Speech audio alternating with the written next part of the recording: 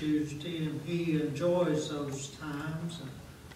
And I knew when he didn't show that he, he wasn't doing well. Anybody else? Well, running our daughter-in-law, Nikki, I think gonna have to have surgery. She's been sick for several days with her gallbladder.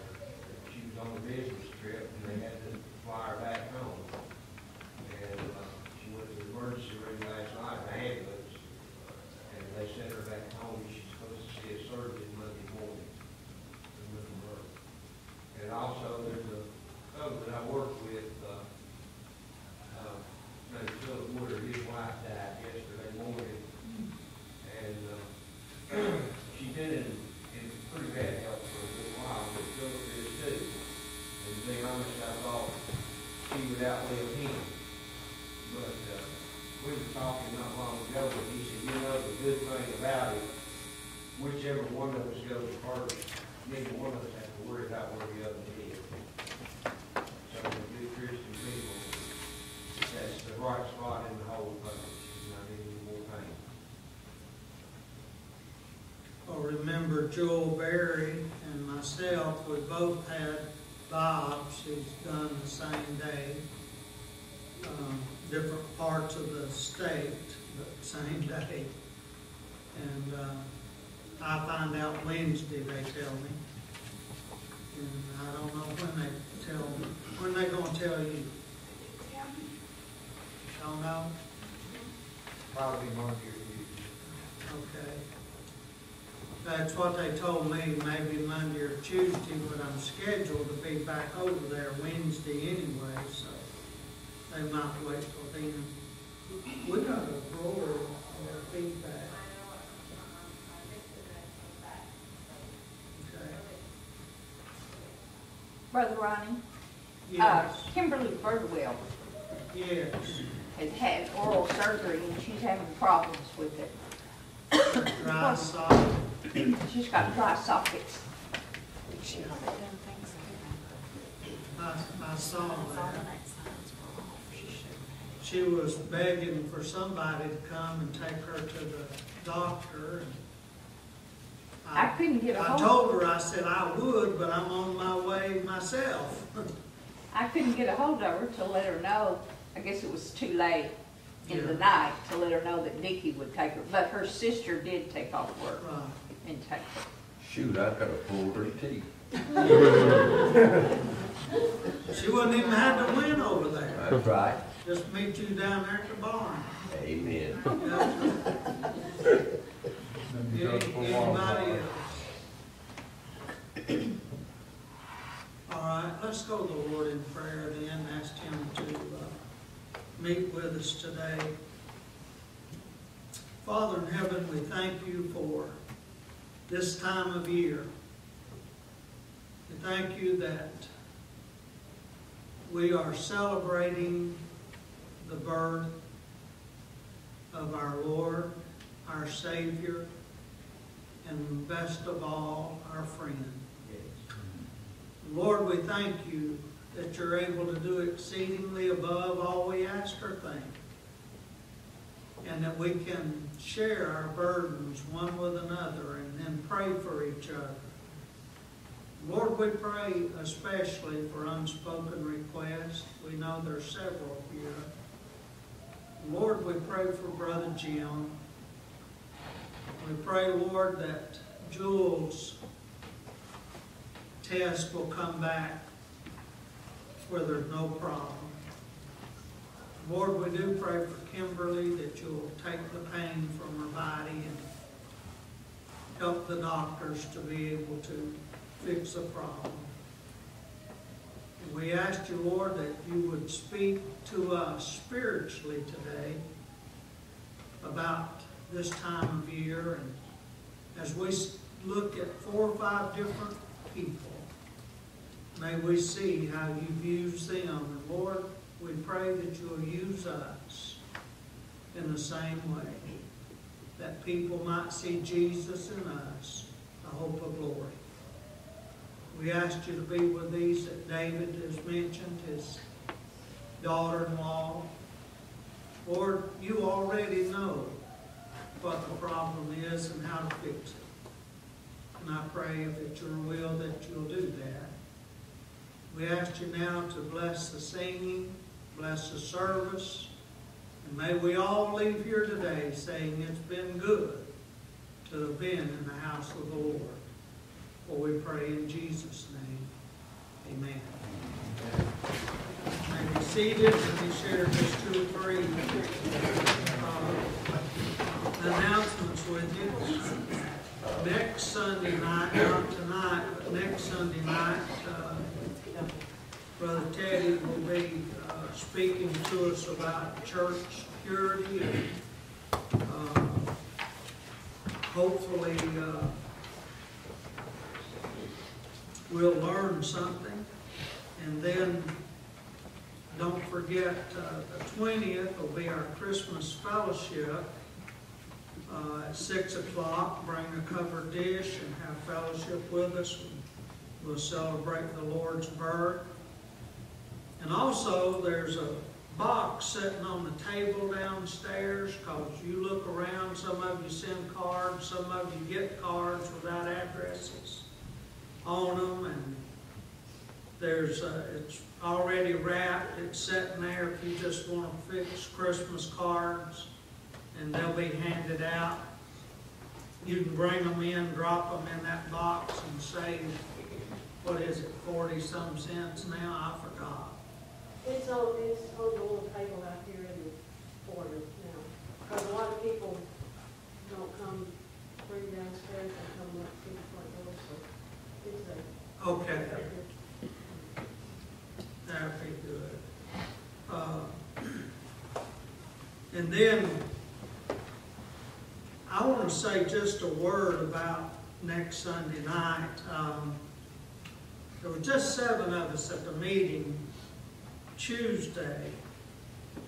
And uh, we had talked about it, and our state promotional man was there, and he said, he called the name, and I wished I'd have wrote it down. I remember him from years past in North Carolina. Almost had it. But anyway, regular routine, the preacher comes in on Monday morning, the secretary's there. The preacher gets the uh, money out of the safe. He comes out of his office and starts through the sanctuary. And he meets a man with a gun coming in. And the preacher ran to the bathroom locked the bathroom door. Uh, Brother Glenn said the man with the gun shot through the door and shot the Freeville Baptist preacher.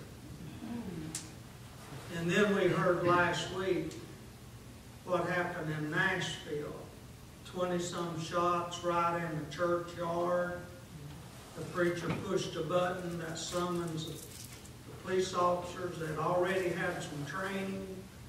The people in the church knew right where to go, what to do, to lock the doors, to make sure nobody got in or nobody got out where the shooting was taking place. That's, that's in our door, Nashville, Tennessee. And so I hope you'll be here because I, uh, uh, anyway, you don't need to be blind. You don't need to stick your head in the sand. We all need to be on the same page and know what to do without panicking. And so, uh, Brother Teddy's worked long and hard and changed some things, and uh, he's been in this for more than 35 years. And uh, we don't want to let that kind of talent slip away from us and that kind of knowledge.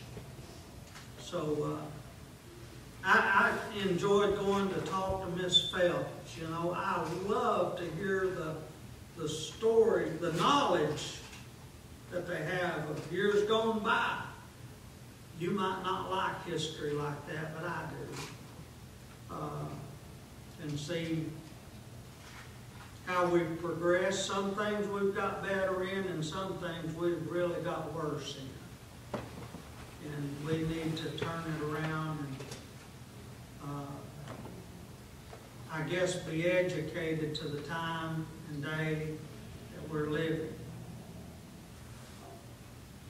I told them Wednesday night, the funeral that I was in last Monday or Tuesday, I forgot what day now, too many. But it was over a mile long. And standing at the graveside, Angel uh, Looney said, Brother Ronnie, I heard what happened at West End. Some of you probably hadn't. But I thought, anyway, a guy came in, wanted enough money to fill his car up, and I said, don't have it. Awful looking car, and he's headed to Mississippi or somewhere. Don't want to get on the interstate without his car being filled. Long story short, maybe you've overlooked some money. Take your billfold out and let's look through it. Right here two weeks ago. That's not a good feeling. You know, when they tell you to take your wallet out of your pocket and let's look through it. And uh, it's getting to the point that uh, we need to be aware of our surroundings. My wife walked out of Kroger's with Donna a few years ago and not paying much attention, walking to the car. She got hit from the back, pulled to the ground, broke the strap of her pocketbook, and the man ran with her skin up on the pavement. I wasn't there. I was home studying. And if it can happen to her, as poor as she looks, some of you look rich, you're in trouble. You know, Uh, it, it scared her daughter and my daughter to death uh, for that to happen. She was with her, and but it woke both of them up. They are very conscious of the surroundings now. So. Uh, it's happened to us. We've been robbed that way. We've been robbed while we were at church, just like Harry and Jewel have, like Mark, Barry, and Lynette have. when you go home and the whole furnace is gone from one year, that, that's a robbery to me. And uh, we just need to be aware. Well, in the meantime, I'm gonna say, well, in the meantime, not to be comical, yes, sir. but I'm serious. If something like that was to come during church service, for God's sakes, don't get between me and whoever's welding that gun. Hit the floor. I, I agree. Some sheriff out west, it was on the news, said if you've got a permit to be armed, then be armed. And when you shoot, you shoot to kill because you're fighting for your life. You know? And we're in church talking about this. But if God's people don't do right, the world's sure not going to do right. That's enough, I guess. We'll let Nicole come and lead us in another song. Uh, Please be here next week, and if you know other churches, you've got friends in them, tell them about, especially ushers and trustees. It's, it's almost a mandatory thing. And uh, church officers, janitors, people that are here by themselves, a lot of times you sure to be.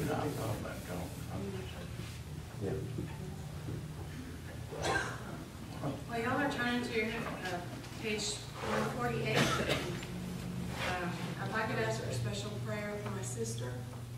Um, She's struggling to be a new mom. She's not getting enough sleep. I think there's a touch of postpartum depression.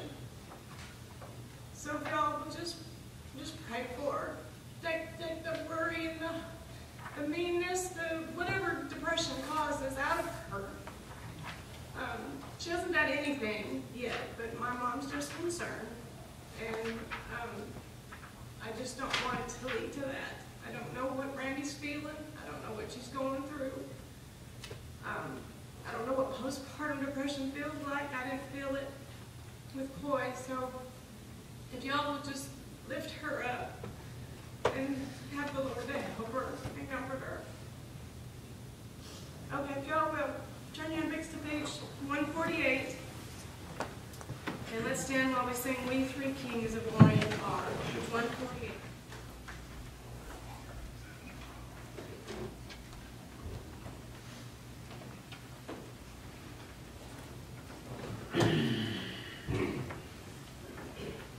It just took me three nights to teach her that. My goodness, nice learner. I love piano music. I really do.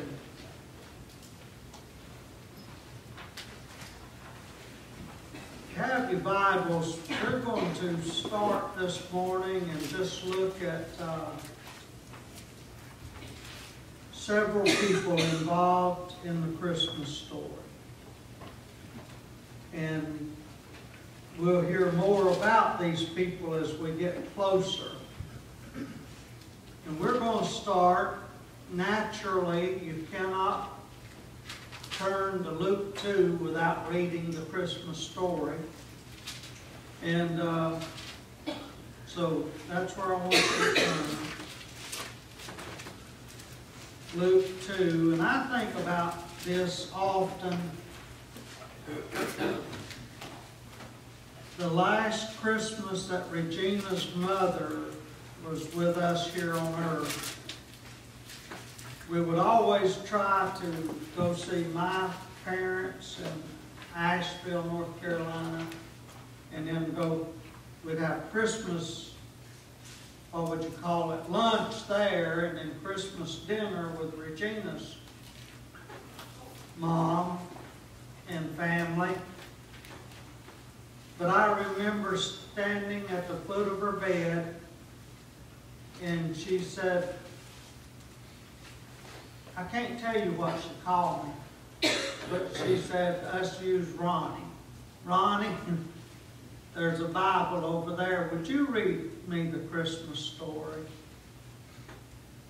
And so, got the Bible, turned to Luke 2. Precious memories. You know, reading a Christmas story. As I said to our Sunday school teacher, Brother Kenny, this morning, when he's teaching about Moses, you know, it doesn't get old. The Bible just doesn't get old. It's fresh every morning. Like God said, my grace is fresh every morning. My mercy endures forever. And his mercy is new every day. And so, in the next few minutes, and I'll not keep you long because we're going to see these individually as the month progresses. In Luke 2, verse 11, For unto you is born this day in the city of David a Savior, which is Christ the Lord. I don't know about you, but that would have just meant so much to me if I was alive back then and heard an angel say that. I'd say, it's finally come. Like I'm looking for the upper taker now. I'm listening for the sound of the trumpet and the voice of the archangel and time to be declared no more and to go home to be with Jesus. Is what I'm looking for. But history, his story, it's all about the one that we're going to read about today. As a Savior himself is the very center of this wonderful story. Without Jesus, there'd be no Christmas story. Without Him, we'd have no Bible. And we shall begin with Him. And I'm going to talk about several other people, but He's the star. Then seek uh, to fit the others in as we go one by one. When Joseph and Mary arrived in the town to register their names in the census, they found that the homes of their friends were already fully occupied. So they were compelled to go to a common inn. And the common inn means like a, a motel. It's a place where people traveling can stay. So they went to the inn. But there too, every room was already crowded. And I get to thinking, the creator of the world was born that night in Bethlehem and laid in a manger. The creator of the world born and there wasn't room for it. And we're talking about the King of Kings. We're talking about the potentate. We're talking about somebody that has no rival. That nowadays somebody would be moved from a room and he would be put in it he would take charge. But we find that if Joseph and Mary, and certainly they did because they came from everywhere to register and to pay taxes, tribute, we find that Mary and Joseph made it. They registered all right. Then her being great with child,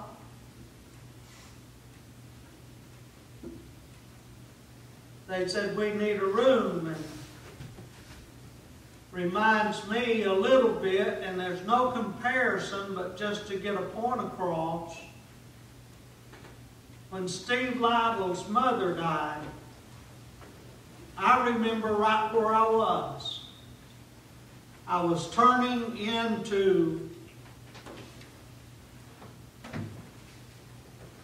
signature furniture war, uh, furniture store by myself to look for my wife a Christmas present. And my phone rang and I answered it and it was Steve. And he said, Brother Ronnie, my mom just died. And I don't know anybody else that she'd rather have preach her funeral than you. And I realize it's a long ways to come. You already know what I said.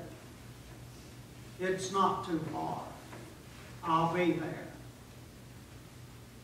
Came home, told Regina what was going on, packed an overnight bag, suitcase, hung my suit up in the car, and I'm driving that white Buick that I drove for so many years before I traded for the red one. And I, I get to Swannanoa, and they just have one little funeral home there.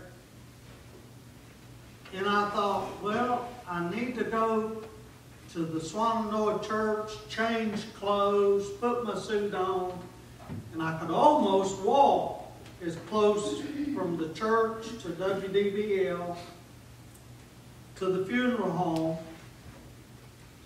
That's what I did.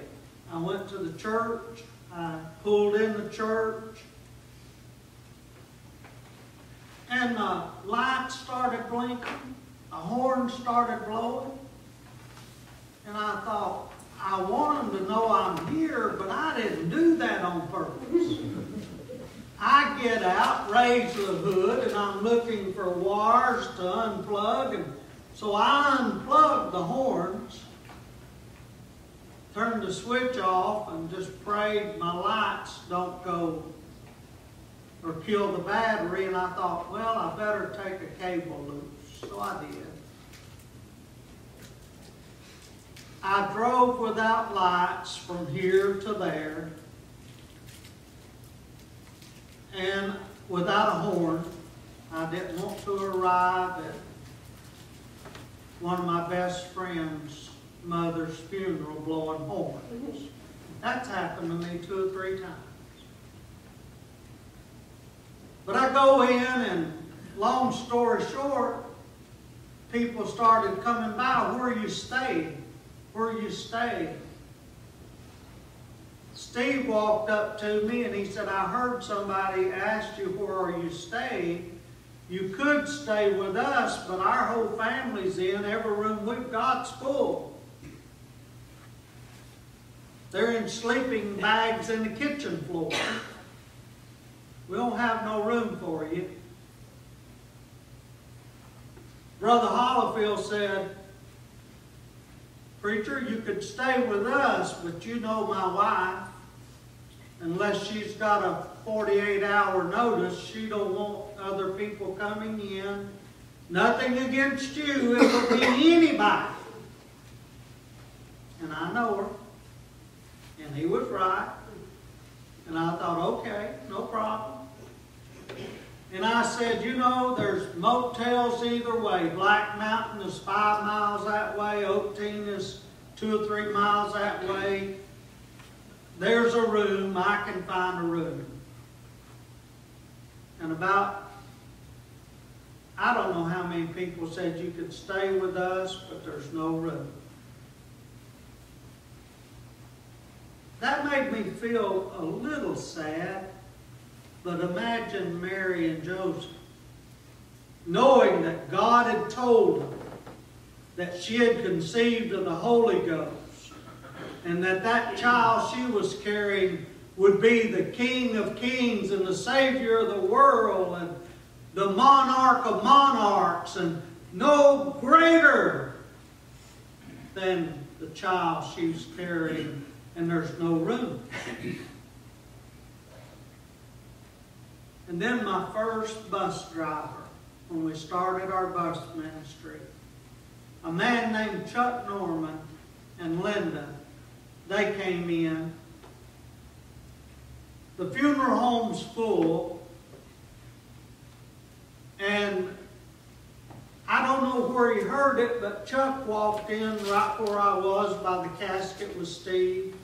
He hugged my neck and he said, Brother Ronnie, I've just heard that you don't know where you're staying. And I said, Not yet, I don't. I said, But if I have to sleep in the car, I can do that. I've done it before. He said, Oh, no. Our kids are grown and gone, and there's three bedrooms in our house. We use one of them. You come and pick out the one you want, and you're staying with us. That ain't how it was with Jesus. They tried everywhere, and guess where he ended up? In a barn. The King of Kings that created everything that was made was made by him, and there was no room for him. And I know today, I know some of you, I know your hearts, and I know you would say, You can have my bed. I'll find somewhere. You can have my bed. I'll sleep in the barn. Joseph, bring her into my house. I'll go to the stable. Wasn't that way back then because Satan already was working. He didn't want him born anyway. And then there's probably more to that story than we'll ever know till we get to heaven. There's one beautiful lady here today that says to me almost every day that we talk about it at Christmas, I believe he was born in a barn to give the animals hope. I don't know. I'm not going to say no. Because Jesus died for everything that has breath. The Bible teaches us everything that has breath. Praise the Lord. And so we see that Mary and Joseph, they're the main ones that I wanted to talk about today, but I want you to see that Satan has tried to take him out from the beginning. No room, and I've already received five Christmas cards, and just two of them have Xmas in it. You know what Xmas means when you sign Merry Xmas? You just took Christ out of Christmas. And that's a sneaky way that the devil does it. And I mean good people that I know, good people that I love. Nobody from this church. It's other folks that know better. But don't sign your cards Xmas. Take just a few minutes, and if you don't know how to spell it, do like I do. Call Teresa. or, or call Regina, and she'll ask her phone, and it'll tell her how to spell it. You know, I hate it when a phone's smarter than I am. Amen. I hate that. But think about it. We need to keep Christ and Christmas and standing here and facing 52 or 53 other countries. It's not happy holiday to me. It's still Merry Christmas. Amen. And will be till Jesus calls me home. Amen. And so, I might not be politically correct, but my heart feels better when I can say Merry Christmas and joy to the world and peace on earth and goodwill toward men. I want to keep it the old-fashioned way. And so we see that uh, what they faced the very first night. Let's move to the second person. I told you it wouldn't take but a minute, and there's just four people. Mary and her meekness. Look at Luke chapter 1. You're already there. And verse 38. Luke 1 and verse 38. And Mary said, Behold the handmaiden of the Lord, be it unto me according to thy word. And the angel departed from her. Think about that. Mary was so meek. The mother of the Lord, a very wonderful person, although being as humble as she was, when the angel Gabriel visited her and told her the startling news that she was chosen of God to be the mother of Jesus. Her reaction, I think, were remarkable. Do you see what she said? Behold, I'm just a handmaiden of the Lord, but be it according to thy word. Behold, then the wonder of Mary just come to complete submission to the will of God. I would to God that every one of us under the sound of my voice today, including our computer audience or TV audience, would do what Mary did and say, whatever you want, Jesus, that's what I want. And that's what Mary said. Be it unto me according to your words. Let's don't change it to where Christ is not there. I understand to somewhat taking the name Bible College out of our college, but it still hurts me Amen. that we can't call it a Bible college. Amen. It seems like we're getting pushed farther and farther away from the will of God. Farther and farther. Jesus said, Go and make me known. Shout it from the housetops. Tell people what I've done for you. And yet we're saying, okay, let's scratch Jesus off. Let's scratch uh, Bible out of our school. Let's take we take Bible out of our school. We raise up these children. And the book says, and this generation knows not God. That's what your book says. When you take Jesus out of it, that generation's raised without him. But Mary said, I'm willing to do whatever it takes to please the Heavenly Father. And she's just a young, young girl and became the mother of our Lord and Savior. That's remarkable. And then look at Luke 2, number 3, and we just. Number 3, found in Luke 2, verses 13 and 14. Luke 2, verses 13 and 14. And suddenly there was with the angel, and watch the wording, a multitude of heavenly hosts praising God and saying, Glory to God in the highest, and on earth peace, goodwill toward men. Now, I want you to think with me.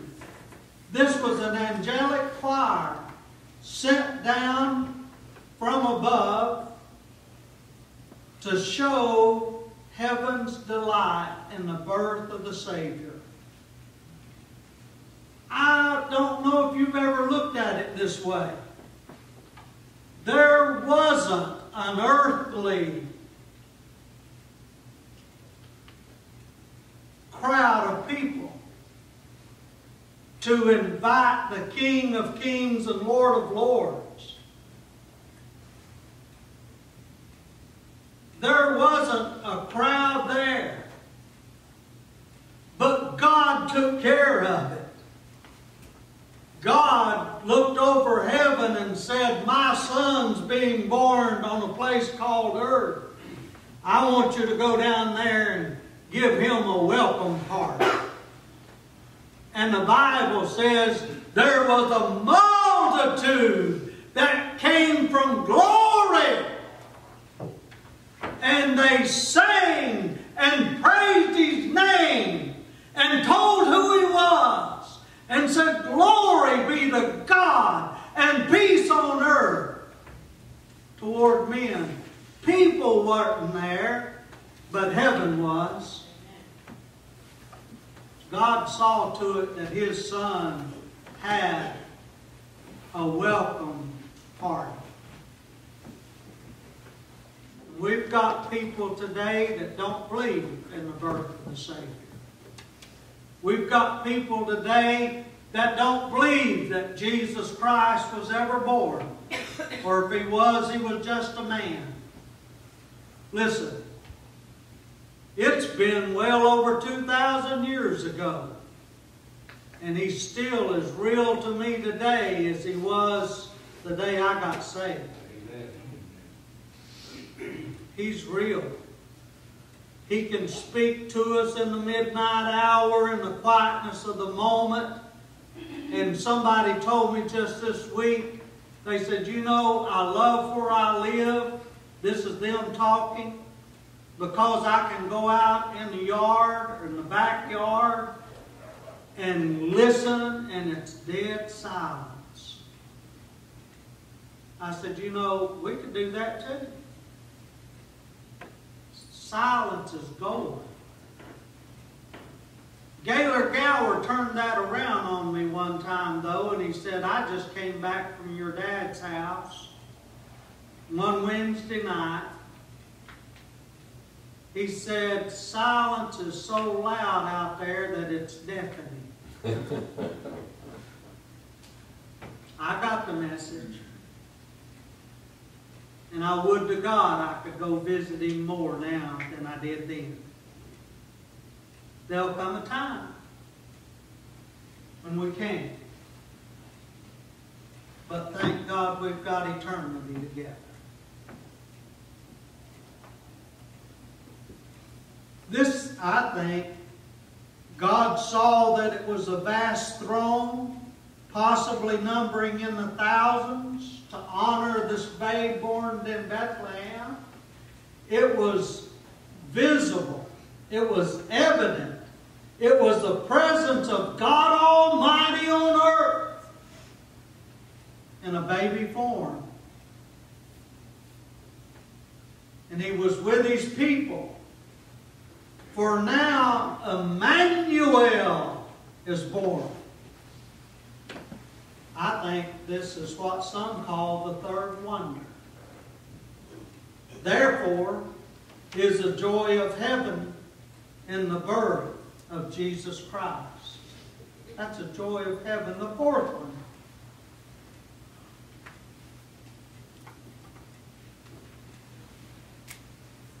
Is the shepherds. Luke, we're going to have to, well, Luke chapter 2, verse 15. Luke 2.15, right under where we just read. And it came to pass, as the angels were gone away from them into heaven, the shepherds said one to another, Let us now go even unto Bethlehem, and see this thing which has come to pass, which the Lord hath made known unto us. Now, the Bible says what it means and means what it says. He didn't go to kings. He didn't go to emperors. He didn't go to high authority people. He went to shepherds and told them first. That means something. We're going to see part of it right here. He didn't go to the great men of the world with this wondrous news of the birth of Jesus first, but rather he went to humble shepherds.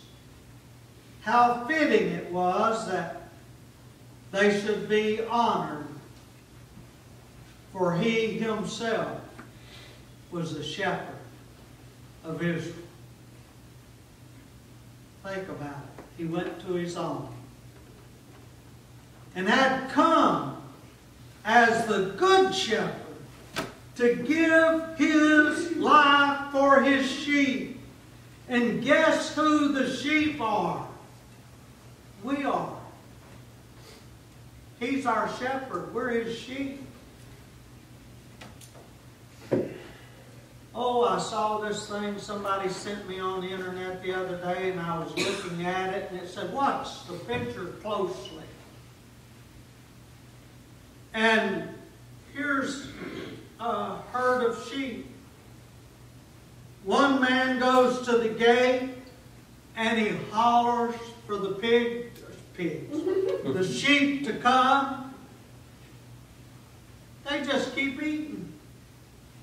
They don't even look up. He walks away. Another man goes up there.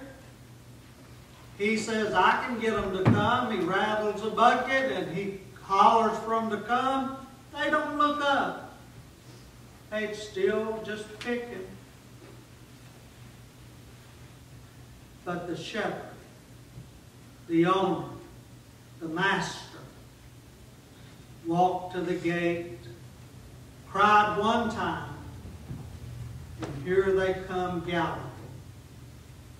My sheep hear my voice, and they know who I am. Isn't that wonderful? That we will hear his voice one day, and we'll hear our name called.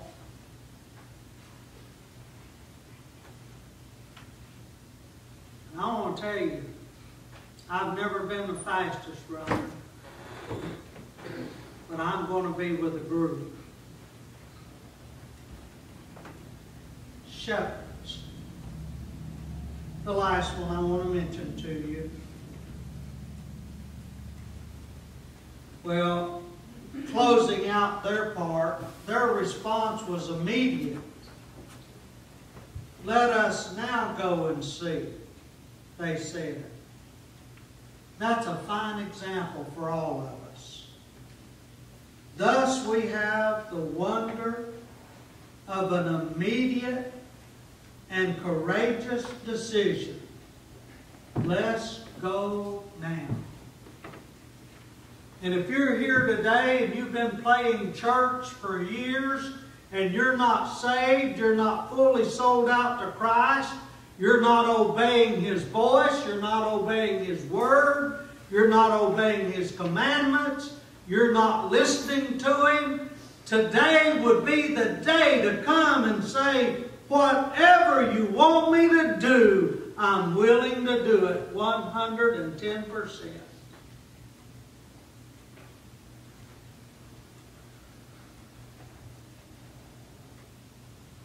For he says, you have, I'm going to paraphrase this. I know what it says, but I want you to understand it. What business do you have calling me your father when you won't do what I've asked you to do? We think we've got a better plan than his.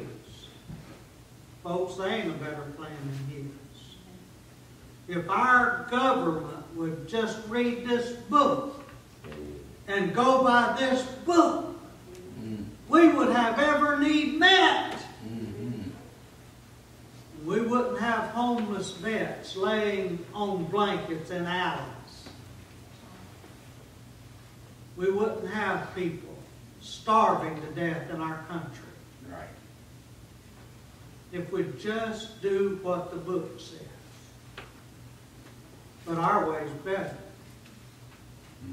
Folks, our way's not better. Never been a better way than Jesus. He said, I'm the way, I'm the truth, I'm the life.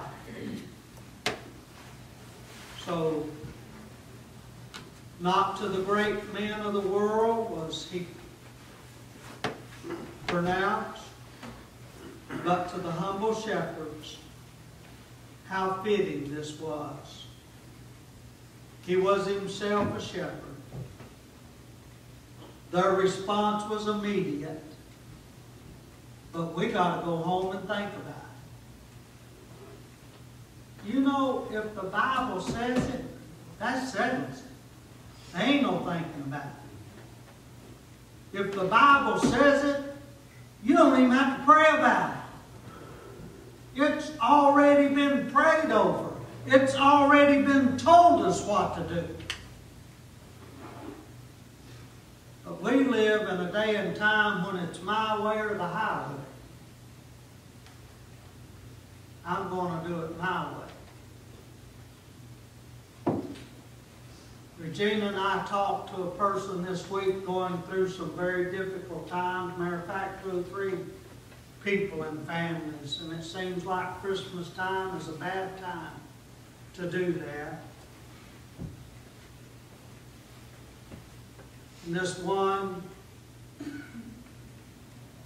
said, I don't know what to do. And I said, you know what I'd do if I was in your shoes? And I said, I can't do it very well.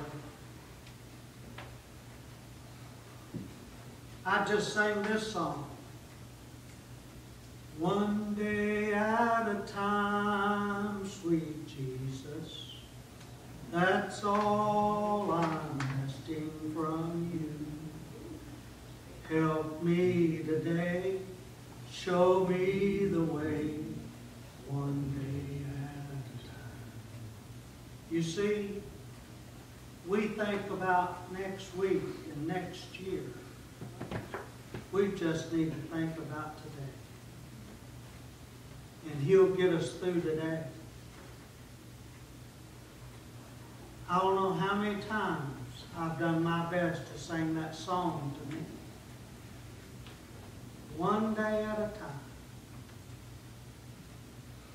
And I don't have time to tell you the whole story, but remember the illustration about the clock that just had a nervous breakdown? The big grandfather clock. And the owner called the clock doctor, and the clock doctor comes out, takes it all apart, reassembles it, says, I can't find a thing in the world wrong with this clock.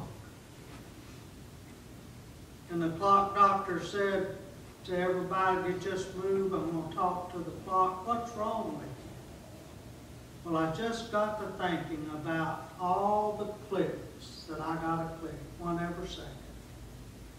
60 every minute. Thousands every day. And I can't take no more.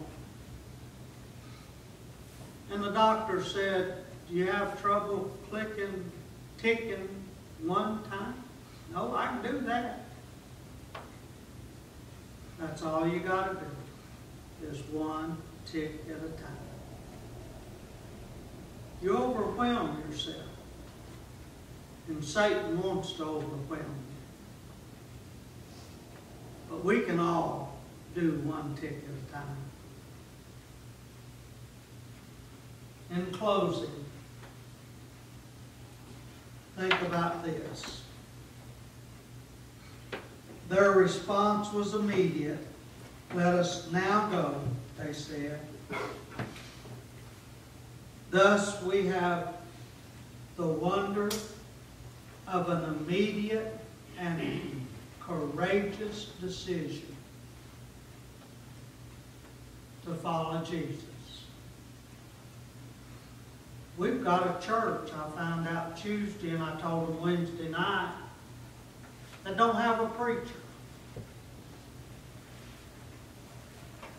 They've sent Bible college students out there, they've sent young preacher boys just trying to find a church to start, and they all say, not big enough, not enough money.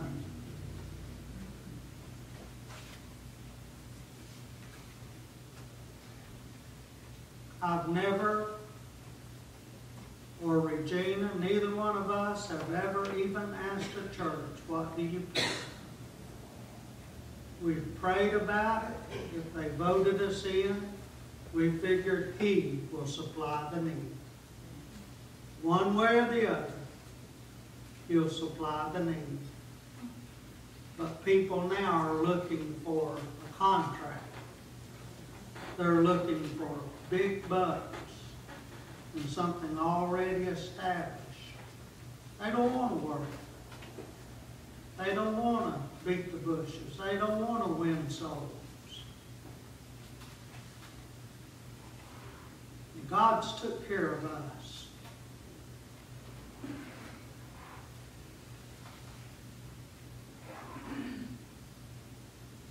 Tears fill my eyes sometimes when I think how He's blessed us. We've got a wonderful church. I think we've got the best foundation and the best church that we've ever had since I've been here.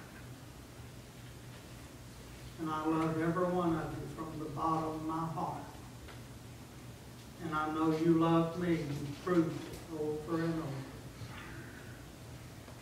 And my wife has not packed her china in over five years. So you love her too.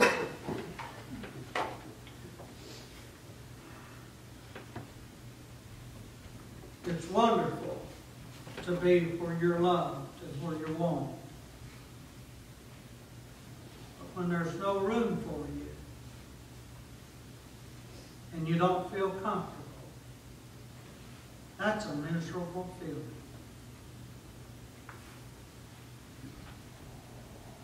This is the last one. Found in Matthew, you're going to have to turn. Matthew chapter 2 and verse 2. Just back one book. Matthew 2 2. The star and it shining. It says, saying, Where is he that is born King of the Jews? For we have seen his star in the east, and are come to worship him. This was one of the miracles of the first Christmas. It was only to be expected that God, that can do miracles, would do something out of the ordinary on this holy occasion, and He did. We have seen His star, and we've come to worship Him. Where is He? I want to close with this question. Where is He in your life? Is He King of your life? Is He your Lord and Savior? Do you obey Him? Do you do what this book says to do?